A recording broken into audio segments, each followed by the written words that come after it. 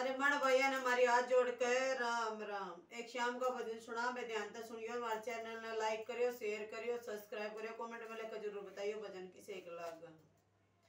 श्याम मन इतना प्यारा।